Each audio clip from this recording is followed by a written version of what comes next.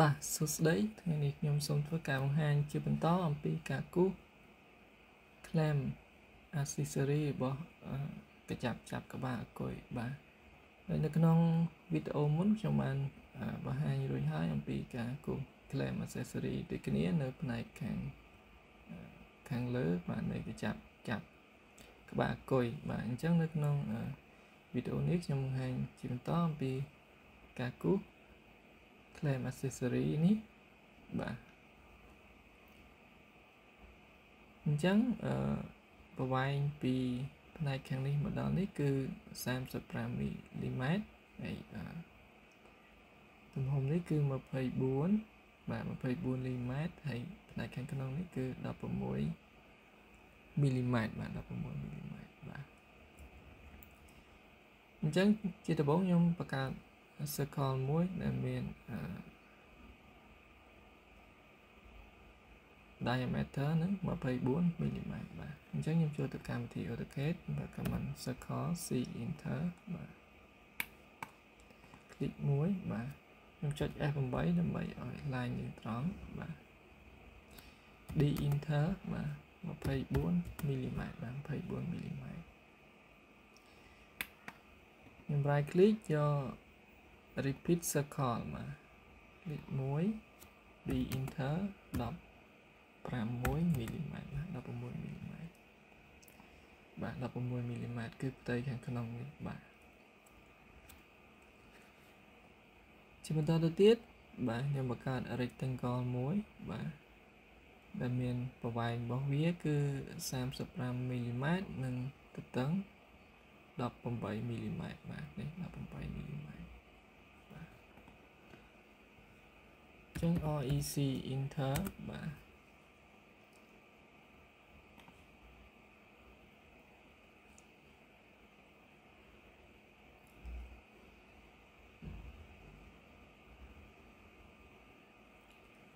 REC enter 35មីលីម៉ែត្រក្បៀស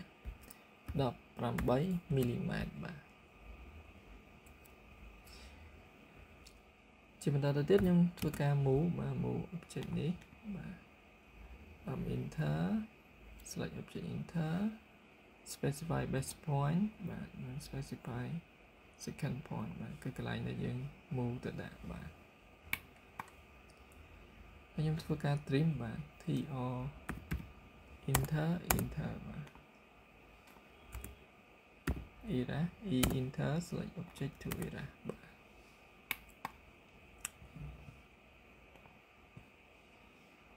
ជាបន្តទៅទៀតផ្នែកខាងនេះគឺមានអឺ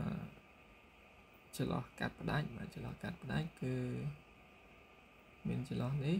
ទំហំវា5.5មីលីម៉ែត្របាទ5.5មីលីម៉ែត្រអញ្ចឹងខ្ញុំប្រើ command pl enter បាទ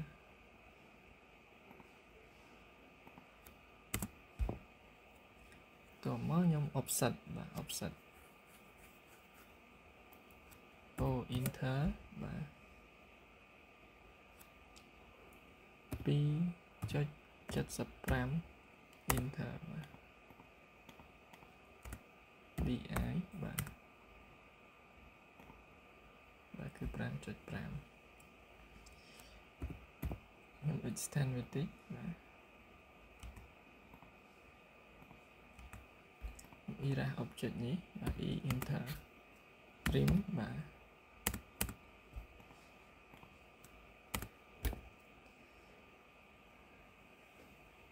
បាទហើយយើងទទួលបានដូចនេះបាទផ្នែកខាងនេះបាទយើងទទួលបានរួចហើយបាទអញ្ចឹងនៅផ្នែកខាងនេះវិញម្ដងបាទផ្នែកខាងនេះវិញម្ដង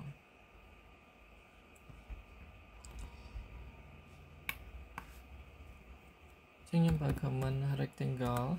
ជាបន្តទៀតបាទមានកម្រាស់12មីលីម៉ែត្រក្បៀស31មីលីម៉ែត្របាទបាទនេះគឺប្រវែងនេះគឺស្មើទៅនឹងប្រវែងរបស់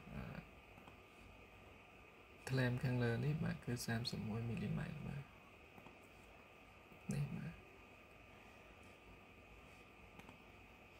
ជំតទៅទៀតខ្ញុំ fillet បាទ enter or enter 6 enter បាទជាខ្ញុំ fillet តែ2ជ្រុងនេះទេបាទ fillet 2ជ្រុងនេះទេរួចហើយខ្ញុំ move តាម enter បាទ move object នេះខ្ញុំមកដាក់ចំកណ្ដាលនៃនេះបាទ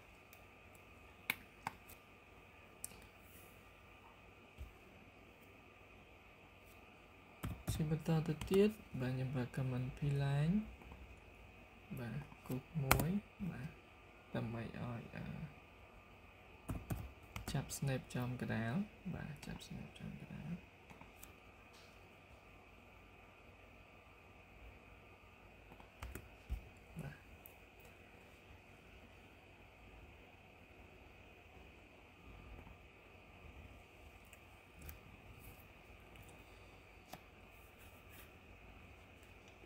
បាទនៅត្រង់នេះគឺមានអឺរុនប៊ូឡុងមួយដែលមានកាមវាគឺ2.5បាទ2.5បាទខាងខាងនេះក៏ដូចគ្នាដែរ2.5ដូចគ្នាបាទ2.5ដូចគ្នាចឹង C enter D enter 5 enter បាទ ជំតទៅទៀតខ្ញុំ Myra mi enter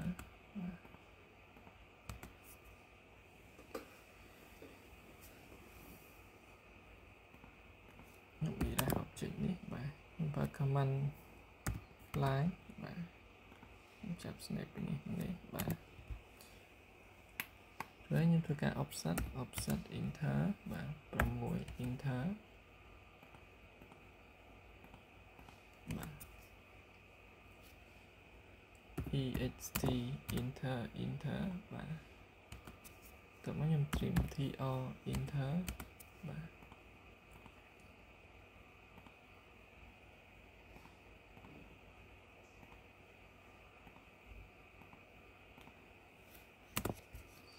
ហើយខ្ញុំ erase object នេះបាទ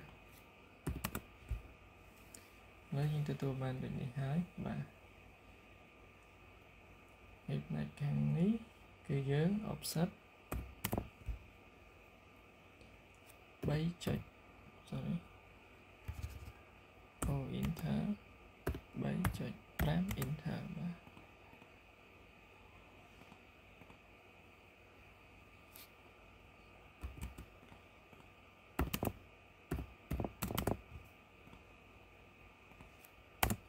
បាទខ្ញុំទៅមកនេះ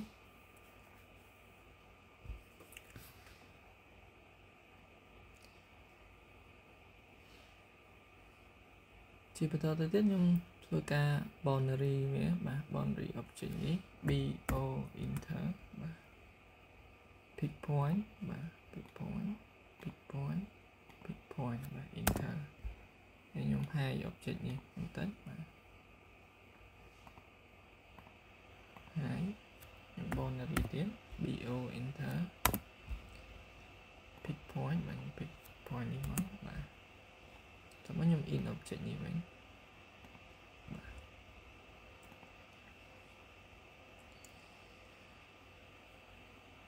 ជាបន្តទៅទៀតខ្ញុំ extrude object នេះបាទ extrude object នេះកម្ពស់វាគឺ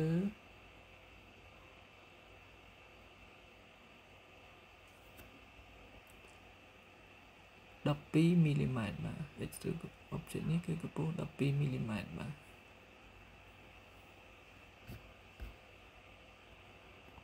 អញ្ចឹង ext enter object enter 12 enter បាទ ពីនេះដូចគ្នាបាទ12 enter បាទ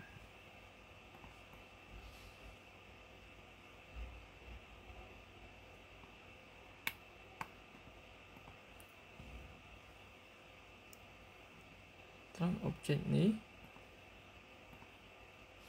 នេះដែរ object នេះគឺ extrude ext enter extrude កម្រាស់វាគឺ5មីលីម៉ែត្របាទ5មីលីម៉ែត្រ5មីលីម៉ែត្រ ext enter extrude 5មីលីម៉ែត្របាទ 5mm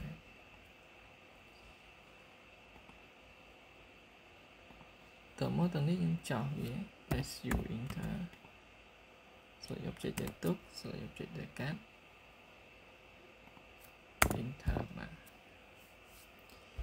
ឬខ្ញុំយកយាន object នេះឲ្យទៅជា object តែមួយ UNI enter បាទនៅត្រង់នេះខ្ញុំ fillet s enter ឲ្យ enter ពី enter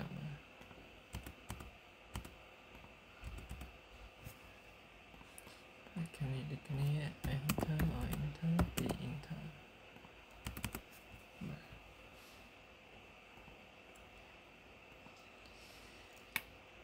បាទបាទឥឡូវយើងទទួលបានដូចនេះហើយបាទជាបន្តគឺផ្នែកខាងនេះគឺយើងទៅកាត់វាបាទកាត់វាឲ្យកោងដើម្បីនេះជាប្រឡោះសម្រាប់យើងដាក់ខ្សែភ្លើងចូលក្នុងហ្នឹងបាទដាក់ខ្សែភ្លើងចូលក្នុងហ្នឹង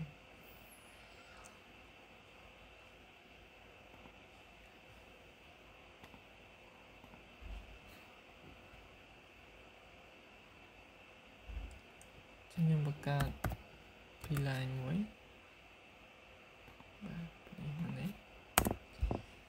ចូលទៅ right បាទ right បង្កើត P line មួយទៀតមានកម្ពស់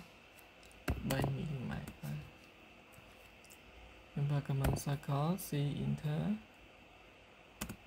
2p enter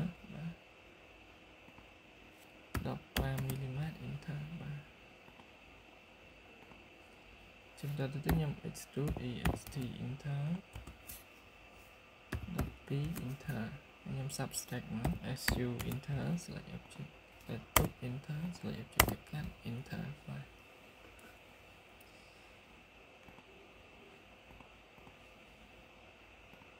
បាទនៅត្រង់នេះគឺមានកំពកមួយបាទសម្រាប់សកត់ខ្សែភ្លើងឲ្យជាប់បាទ chắc chúng ta comment add AOC và click mối. Click mối. Click mối anh em cho từ evaluate và chúng ta comment circle C enter đi, enter mối enter tổng ấn em sweep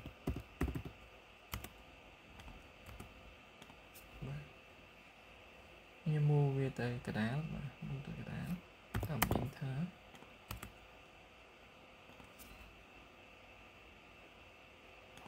បាទ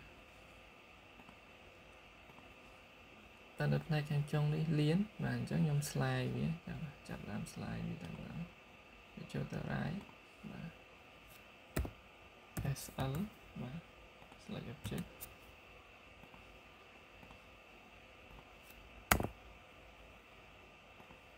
អ៊ីដែរបាទខ្ញុំ slide រួចហើយខ្ញុំ new name បាទ UNI ឲ្យទៅជា object ទាំងនោះ UNI select object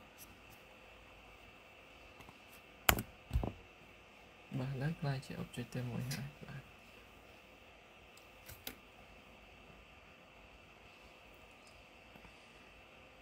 បាទផ្នែកខាងនេះយើងបាន ធ្វើរួចហើយអញ្ចឹងនៅផ្នែកទាំងនេះបាទផ្នែកខាងនេះគឺមានប្រឡោះប្រហោងសម្រាប់ដាក់ខ្យល់ដើម្បីរឹតបាទដើម្បីរឹតអញ្ចឹងពីនេះមកនេះគឺប្រវែងវាគឺ5.72ហើយ diameter របស់ចន្លោះរុននេះគឺ8មីលីម៉ែត្របាទអញ្ចឹងខ្ញុំបង្កើតអឺ line មួយបាទដែលមានប្រវែង5.72 បាទបា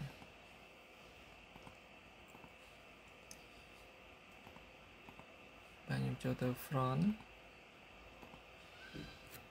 PL បាទ PL 5.72បាទ5.72បាទនេះហើយខ្ញុំបង្កើត circle មួយបានតែមាន diameter 8មីលីម៉ែត្របាទនឹង C enter D enter 8មីលីម៉ែត្រ enter បាទខ្ញុំ EXT enter extrude ប្រវែងនេះគឺ18មីលីម៉ែត្របាទ18មីលីម៉ែត្រតាមប្រវែងនេះបាទខ្ញុំបិទ grid ទៅបាទជំតទៅខ្ញុំ substack បាទ s u enter select object ទៅទុក select object ទៅកាត់ enter បាទ object កាត់ enter បាទឥឡូវយើងទទួលបានអឺ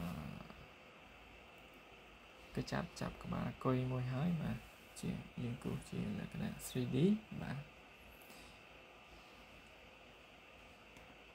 អញ្ចឹងខ្ញុំលុបខ្ញុំអាច move move object នេះតែម្ដង tab enter move object នេះចេញដើម្បី erase object ខាងក្រោមនេះចោល